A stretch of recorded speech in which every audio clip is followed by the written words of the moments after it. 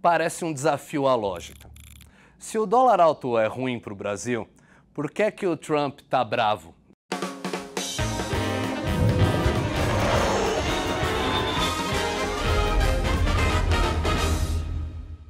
Para quem não viu, ele escreveu no Twitter que o Brasil está promovendo a desvalorização do real para tirar vantagem em cima dos Estados Unidos. Agora pare. Vez. Agora pegue no compasso. Se toda vez que o dólar sobe é um Deus nos acuda, por que Katsu Brasil estaria promovendo desvalorização? Bom, o fato é que não tem aspas aí. O Brasil está, de certa forma, forçando uma desvalorização do real. O ato de desvalorizar uma moeda é um artifício bem comum. Se você assistiu The Crown ou o horário eleitoral do Ciro Gomes, sabe que esse é um artifício mais comum em regimes de esquerda. E nada indica que o Brasil esteja sob um regime de esquerda. Se você quer entender melhor, então, o que está acontecendo, pega a sua ideologia e deixa num cantinho. Precisamos de um sindicato E vamos começar pelo começo. A primeira coisa que todo mundo precisa entender é o seguinte: moeda é uma mercadoria como qualquer outra. Está sujeita à lei da oferta e demanda. Escreve seu nome naquele guardanapo pra mim.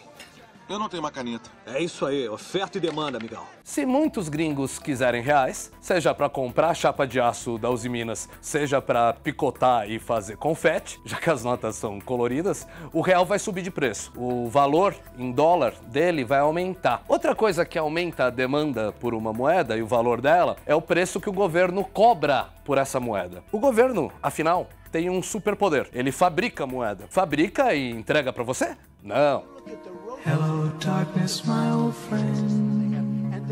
fabrica e entrega para os bancos. É que todo final de dia, os bancos do país se reúnem numa mesa virtual e aí, o que, que eles fazem lá? Ficam emprestando dinheiro uns para os outros. Sim. Banco também precisa de dinheiro. Às vezes um tá sem caixa para bancar as despesas do dia e vai pedir emprestado, prometendo pagar já no dia seguinte. Nisso, o Bradesco chega lá e pede um zilhão de reais pro Itaú. Não significa que o Bradesco não tem essa grana, ele tem, mas fica tudo investido, a maior parte em títulos públicos e não vale a pena vender título público na correria para pagar a despesa do dia a dia quando o caixa tá baixo. É melhor usar esses títulos como garantia e pedir pro Itaú ou pra qualquer outro banco pagando um juro pequenininho. O nome dessa ciranda de empréstimos entre os bancos que rola todo dia é overnight, justamente porque os empréstimos acontecem de um dia para o outro. Sem querer complicar muito, mas assim, a média dos juros que os bancos cobram um dos outros nessa roda é algo tão importante para a economia que tem até um nome, taxa Selic. Você sempre paga mais do que a Selic nos seus financiamentos, entre outros motivos, porque não deixa títulos públicos como garantia. Já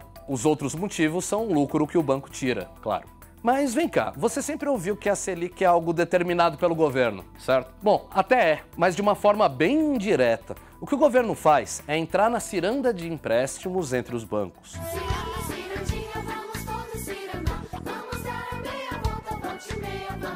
Se o governo quiser baixar a Selic, como tem feito, como ele opera então? Ele senta na mesa como se fosse um dos bancos, sob a alcunha de Banco Central, e vai ouvindo a conversa dos outros. Aí o Itaú pega e cobra 5% do Bradesco. O governo, porém, quer baixar a Selic para 4,5%. Que, que ele faz então? Oferece o mesmo empréstimo lá para o Bradesco a 4,5%. Só um adendo rapidinho aqui. Essa é a taxa anualizada, ou seja, a porcentagem que o Bradesco pagaria se ficasse com dinheiro por um ano inteiro. Como ele fica só por um dia, a taxa que ele paga para valer é só uma fração disso. De onde o governo tira dinheiro para fazer isso? Do orçamento? Da saúde? Da educação? Não. Nesses casos, o Banco Central simplesmente fabrica o dinheiro, pois ele tem esse poder. O nome disso é política econômica. Conforme o Banco Central vai fabricando dinheiro e fazendo seus empréstimos nessa ciranda a juros mais baixos, ele baixa a média, quer dizer, ele baixa a Selic para o patamar que interessa para ele. Com a Selic mais baixa, a tendência é que todos os juros do mercado baixem também, o que dá uma força para a economia, obviamente.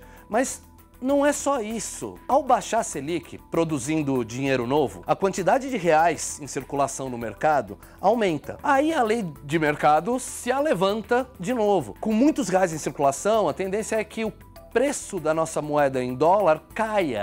É igual tomate. Uma safra grande enche as feiras com vegetal vermelho, com abundância tomateira, o preço do tomate cai. Com dinheiro é a mesma coisa. Selic em baixa coloca muitos reais no mercado e o valor da nossa moeda em dólar cai. Desvalorização. E vamos lá, e por que então a desvalorização é ruim pro Trump? Porque ele deixa os produtos brasileiros mais baratos lá fora. Bora lá. A Uzi Minas vai e exporta a chapa de aço para Tesla fazer carro lá nos Estados Unidos. Vamos dizer que a Uzi Minas cobra um milhão de reais ali pela chapa de aço que ela vai mandar. Com o real desvalorizado, a Tesla vai precisar de menos dólares para pagar pela mesma quantidade de aço a Uzi Minas. Nisso, os produtores de aço dos Estados Unidos tomam uma rasteira, já que vão ser obrigados a baixar os preços deles para poder concorrer. Ou talvez nem tenham como concorrer sem tomar prejuízo. Existe um outro lado nessa moeda, claro. Se a Uzi Minas precisar de uma máquina gringa, vai pagar mais caro, já que o real está desvalorizado. Quando uma empresa assim já tem sua capacidade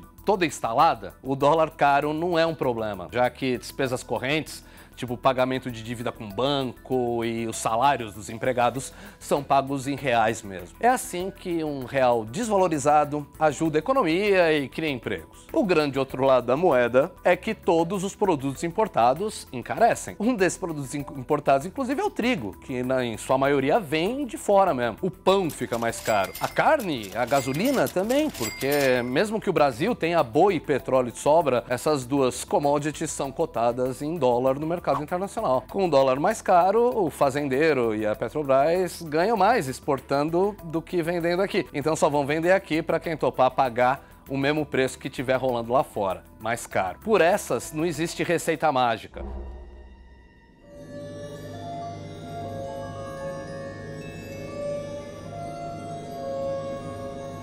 Dá para pegar e chegar a um meio termo platônico, ideal, em que ninguém reclame de nada?